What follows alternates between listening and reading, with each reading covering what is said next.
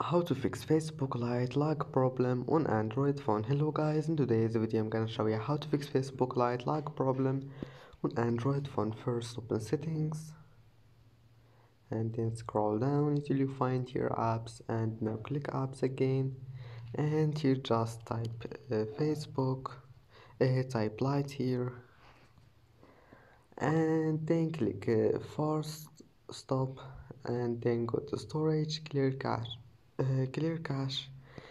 And then restart your phone and try again. And if that doesn't fix your problem just go to battery and then enable power saving mode.